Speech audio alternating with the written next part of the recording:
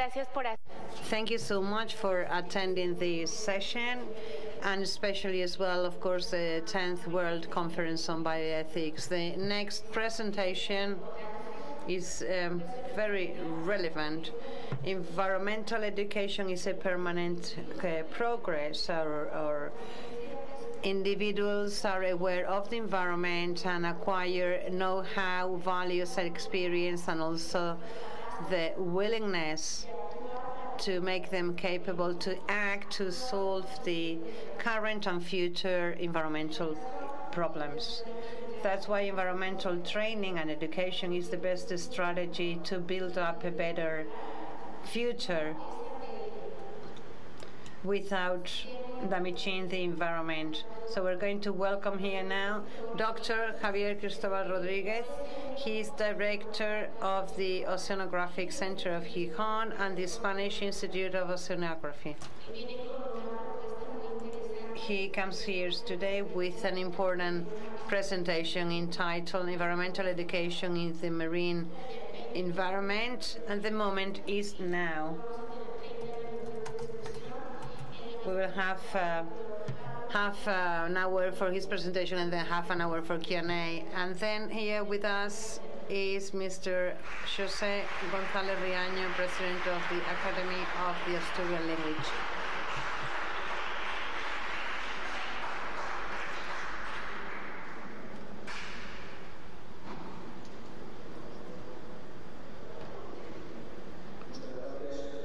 Thank you so much. Good morning, everybody. Thank you for attending this uh, session.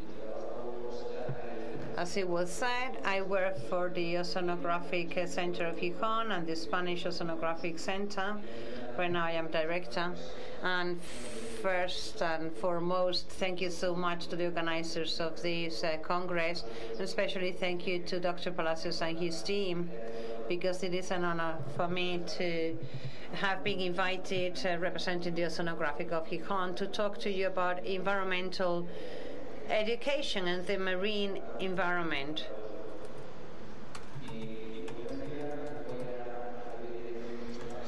My presentation will be broken down into three parts. Uh, firstly, analysis of the marine environment right now, main problems faced. Uh, some of them have already been addressed by the previous speaker. I will also inform you about the potential solutions already mentioned by the previous speaker as well, and then talk about environmental education. And what I like is that this presentation encourages you to have some time for Q&A, some debate, and you may ask any any question and I will try to answer them. If you don't know how to answer questions, it will be the driver that moves us scientists uh, to continue researching to try to respond those uh, to those concerns. Analysis of the current situation. Well, oceans are suffering from or facing the worst uh, moment in history because great places that we have, fantastic places, superb places, are being threatened. And you can see here different images illustrating the impact of environmental pollution, fishery in excess, uh, disasters that happen every now and then with uh, huge consequences.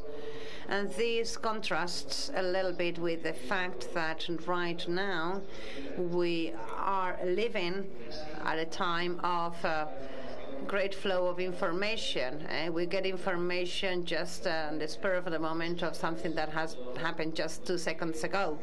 At the end of the planet, so, uh, social media allows us to have um, true information, or almost true, because there is also fake news, of course.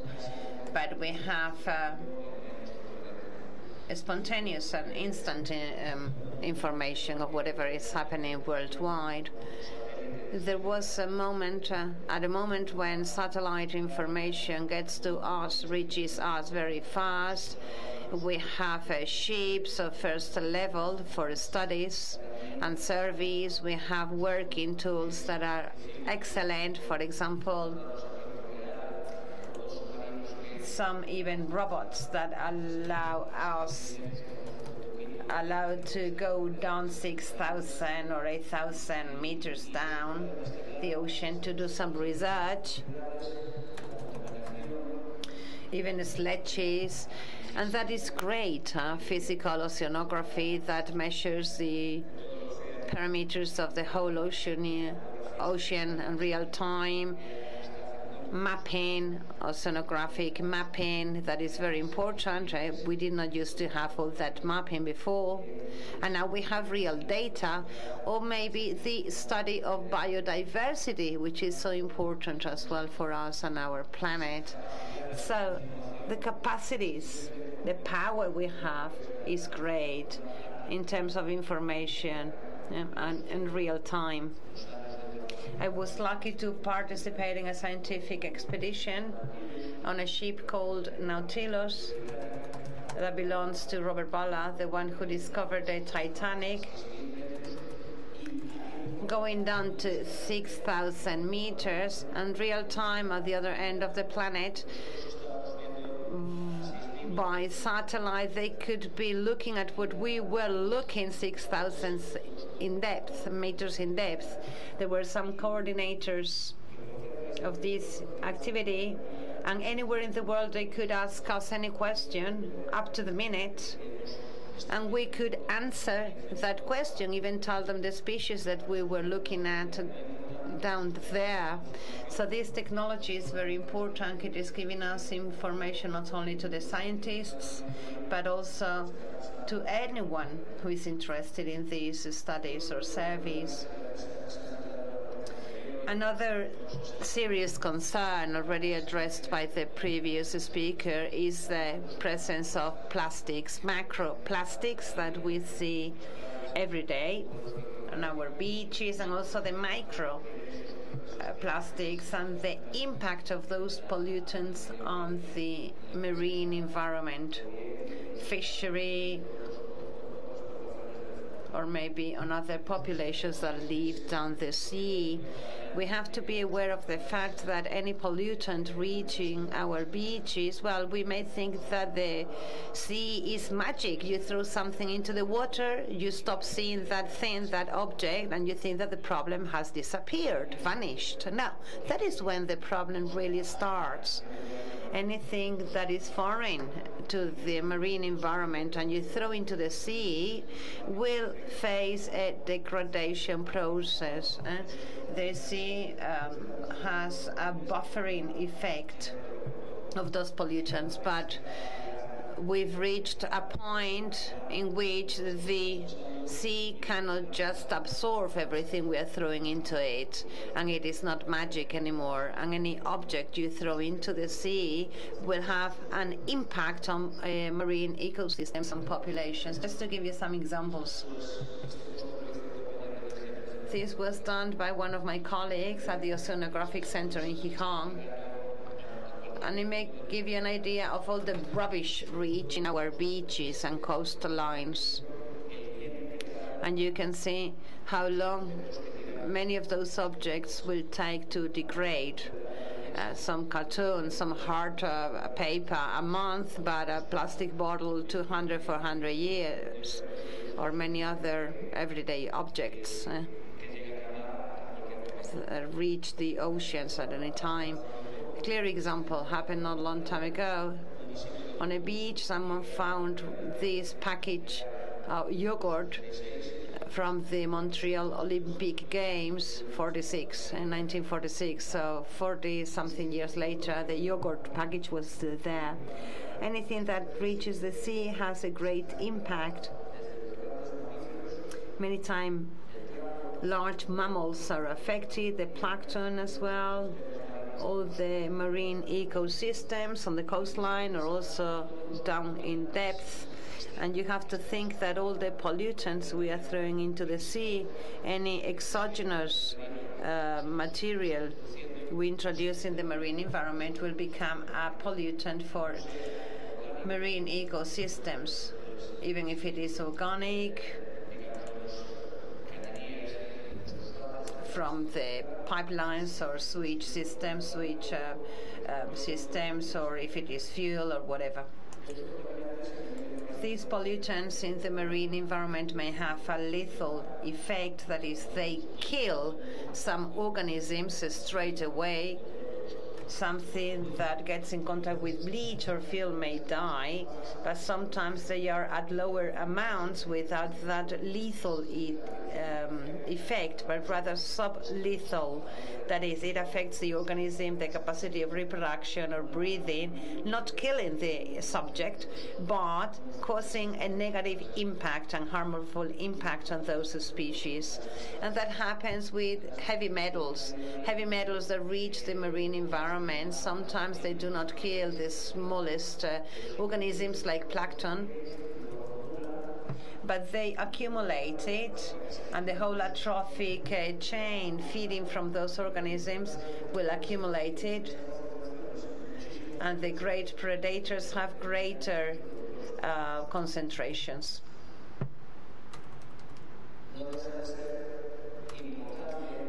It is also important what was mentioned by the previous speaker the rubbish that reaches the seas every day. That's why environmental education and dissemination is very important. And also control of that waste. An example given also by the previous speaker, Boyan Slat, I will not uh, go into detail. But this is one of the best examples of what we can do. He was only 20 years of age. Imagine. And I think this should have been done by governments or states, not the ones that should be concerned about the situation. This does not mean that it is less important, but rather that there are always solutions. And the moment is now. We have to act now. Why? Because we are inheriting planet and we will not be able to leave it better than we inherited it. And until not long time ago, many of the problems or pollutants or the situations that were occurring when we inherited this planet, they had a solution. But now we are facing such a degree of impact on the marine environment that many times there will be no solution. I'm not just talking about pollution, I'm talking also about impact on the coastline that is irreversible. Sometimes it is a contradiction the fact that scientists have fantastic tools and methodologies to research the marine environment, and however, we will not be able to defend it from the aggression, severe aggressions. Every day, new species of seaweeds, marine invertebrated animals uh, are discovered, and many others are disappearing, vanishing, because environmental conditions are changing drastically. You do not really have to go to the tropical areas with um, some beautiful coral reefs here on the coastline in Asturias. We also have them. So scientists have first-hand information, but we also have to act. And many times it is not only responsibility of scientists or politicians, but rather the solution is in our hands, in your hands. At the center where I work, the Oceanographic Center of Gijón, we have some days when we welcome everyone. Everyone is welcome.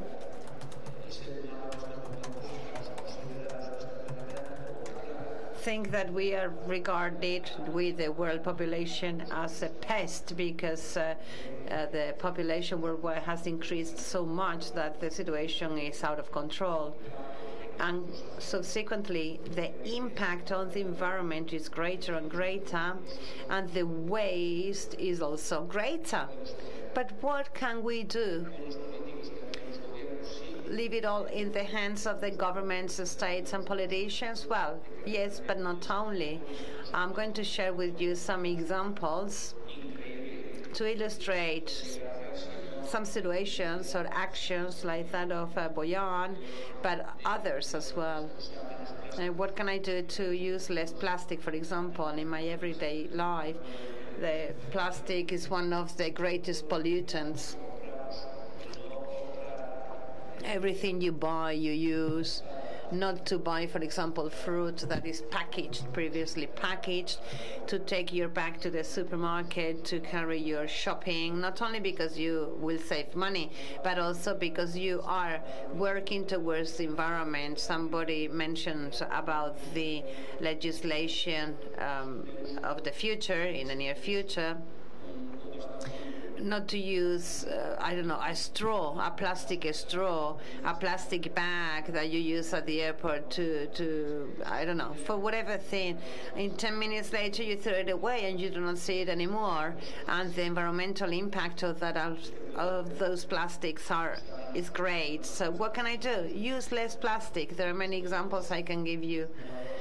Uh, if you smoke, for example, do not throw away the, the cigarette end on the beach because that's horrible, no? Or done on the ocean. There are solutions for that. You can reduce the impact with small gestures, and eh? you do not need to do much.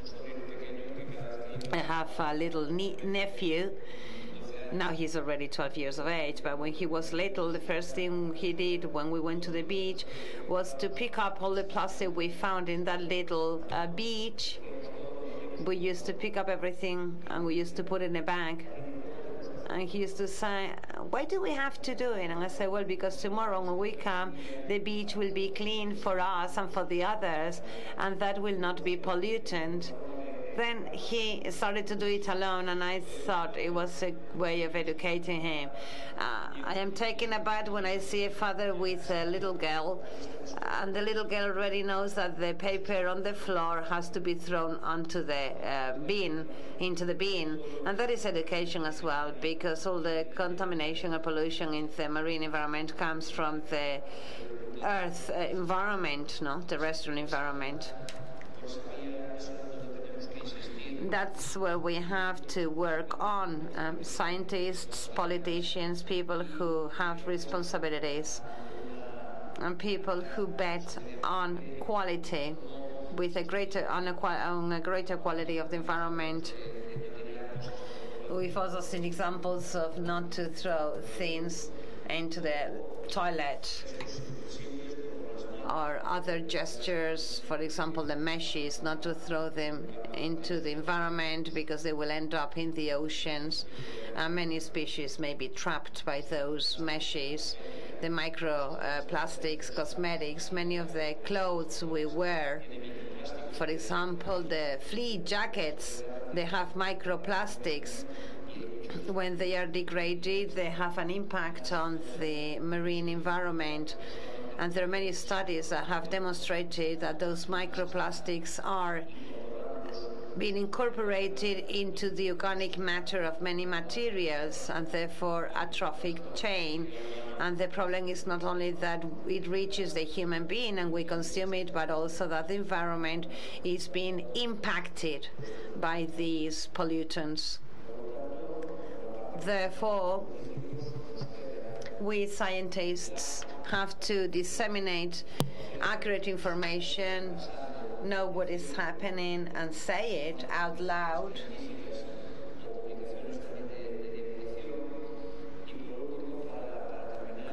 Publish all these officially organized conferences, be here, attend conferences, work with others, and listen to someone who has something to say, eh, the speakers today, the speakers yesterday, that is also a way of helping that environment.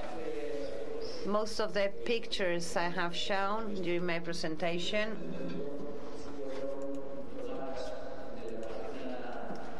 were taken by the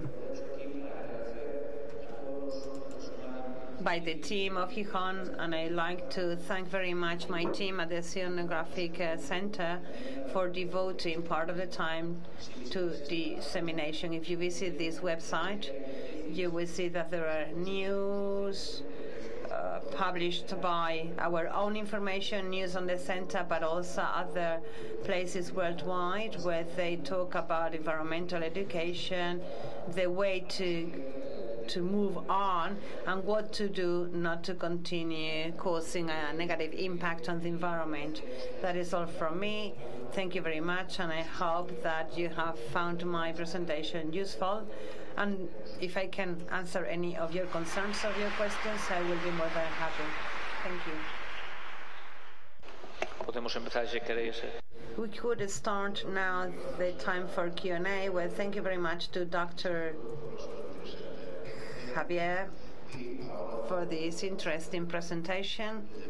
And now the floor is yours.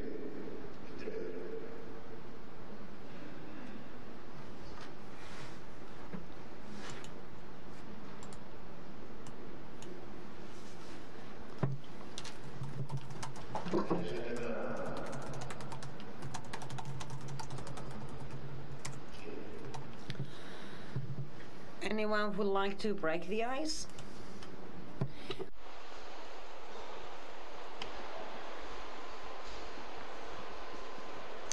Buenos días. Muchas gracias. Good morning. Thank you very much, Javier. I am Sonia from the school La Corolla. Do you think that uh, words like Cydia or Princess of Asturias may help underscore this concern, foundations such as Mise en Bleu have an important impact on public opinion. Uh, the fact of acknowledging many of the works and projects and actions implemented, do you think that may raise awareness among us? Thank you so much. Undoubtedly. Of course, awards uh, talking about the work done by a researcher on the marine environment is a way of underscoring uh, and, and, give uh, light to something that is being done. Uh, cultural associations are also working. We have to work in different spheres. Sometimes the scientist is only working as a notary, you know, uh, explains something, publishes whatever is being done, and then all of a sudden an award arrives. Uh, that is very important. Before Eva Eva was here, uh, she was also awarded with an important award and it is good eh, to get those awards. But uh, the important thing about those awards means that, oh my God, you've been given this award because of this or that. Oh, I didn't know about this. So that uh, action or that plan may be very important. For example, not many people know us at the Oceanographic Center of Gijón. They do know us worldwide, but uh, maybe not here on a local level or in Spain. And uh, when some of our um, uh, collaborators are given an award, that means that they will get to know you better. All those scientists that have many data uh, just uh, kept in a drawer that is not useful. Uh, you have to disseminate it. The poster I shared with you before on the marine rubbish uh, you can take it from the Facebook website. Is an example of something that is simple, and many schools uh, asked us for this poster. Why? Because it is worthy. Uh, the recent award, Prince of Asturias Award, given to an oceanographic expert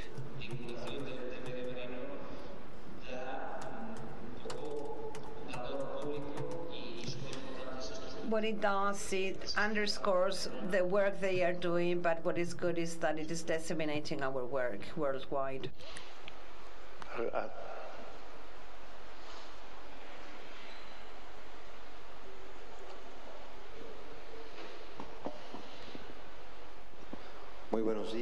Hello, good morning. Firstly, I'd like to thank you for your presentation. I wanted to say, uh, you an anecdote and then a question. 17 years have now gone by since a terrible accident that occurred on the Galicia coast when the Prestige boat um, had an, uh, was shipwrecked and the oil spilled out into the sea. And it, what drew our attention is how the young people, older people got together to help clean up the coast.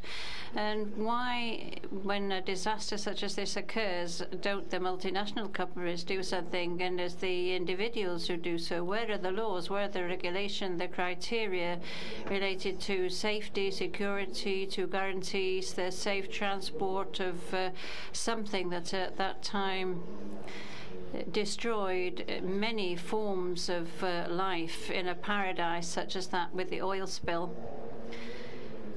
I was, uh, we were students at that time at the university, and many of my colleagues I know went to uh, Galicia to help cleaning up the beaches and the coastline. My question is the following. Are there safety rules, standards? Are they complied with? Or is it something that is more fictitious than real? Well, I think uh, you've hit the nail on the head. The legislation does exist, but often the international legislation make things go so slowly that they aren't as effective as they should be. What you've said about the prestige is a reality, and if it occurs again, I think that even though we've learnt from what occurred, the things haven't changed so much. The environment uh, regulations have made some progress, but I don't think they, there are some lagoons. There are some insurances, for example, the fishermen that uh, couldn't fish at that time and have lost a lot. Well, the money they has been they have been paid money by councils and uh, associations, etc., and they've only received the money from the insurance years later when things have been uh, checked and verified. I was lucky that I I um, am very familiar with that paradise because uh, I have I live, I used to live rather, in a village called Ares, which is very nearby. And so I've uh, seen three accidents of oil uh, tankers, containers, and the Montequiola, the Mar Egeo, and the Prestige. So I'm very familiar with all of this and it's still my hair stands on end still when I think about uh, how we've com committed the same mistakes three times. What didn't happen with the Urquiola and the Mar Egeo with respect to the prestige is there been a social movement, young people who have responded and the means uh, the, uh, the army or whatever, it's part of their work and their work was uh, reinforced by a white tide that you've described very well and we have managed in that way to reduce the impact on the coast. And this response by the people who mobilized, uh, got going, and was vital for the uh, impact not to be greater. We have learned something. There's more awareness now about the sea and its environment, but you still get the impression, as you said, that the laws, the legislation, although it does exist, isn't going to immediately respond to such an important action as uh, prestige, Mar Egeo, whatever. Thank you very much for your question. Any more questions? Yes, over there.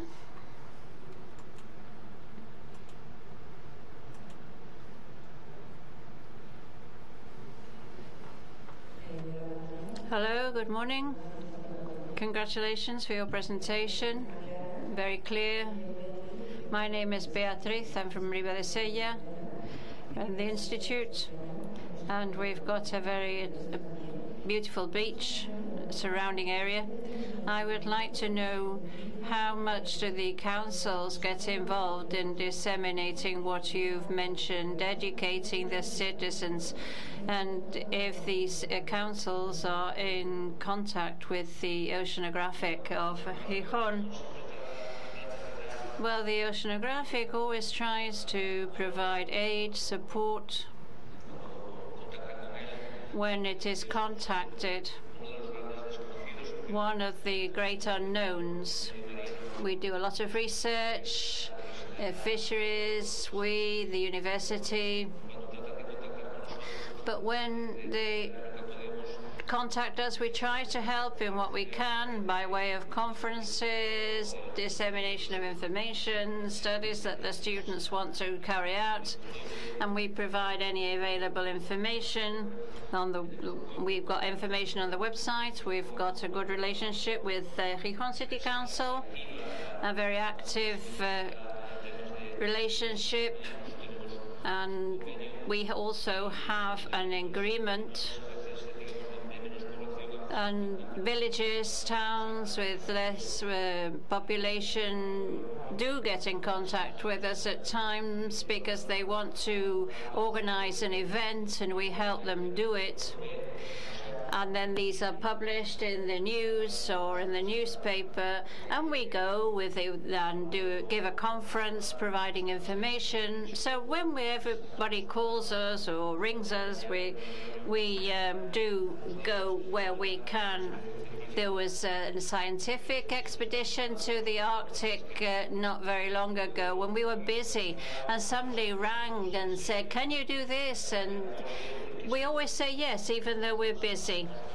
Even though there are only a few of us, there's only 35, 40 of us. The scientists are working on their projects, but we always try to reach everybody and everything the schools, for example, who've asked for help in an activity, the manufacturer of a microscope, a visit to uh, the oceanographic. Third, fourth week in November, we have an open doors. The schools come, and as a result of those visits, conferences arise or students who write to us to say that they want to do a study on plankton. And if we can provide them with information we're always there for anybody even though we are busy. We try to do the best we can.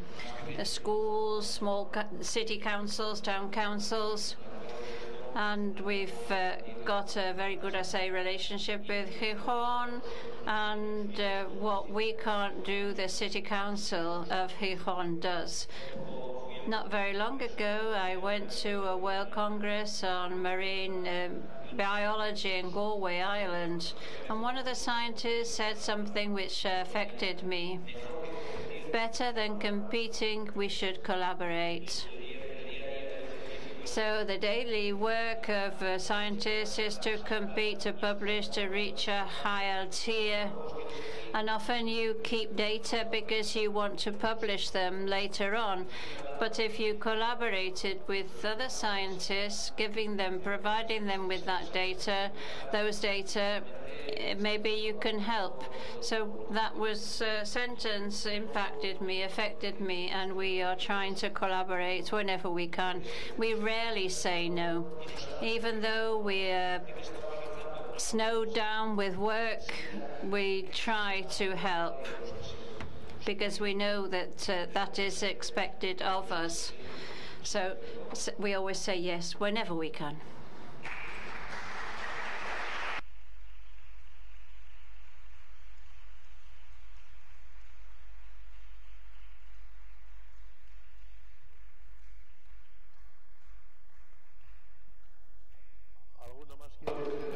Any other questions?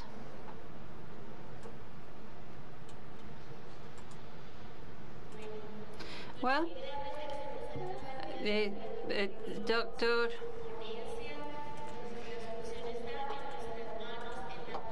Cristobo Rodriguez has uh, given us uh, great information, fantastic information. And as your presentation says, now is the time. Do you want to add something, Doctor?